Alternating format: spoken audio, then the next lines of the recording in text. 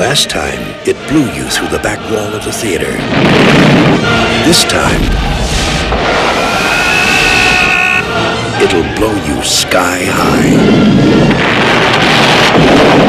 On July 4th, Die Harder. Bruce Willis, Die Hard 2.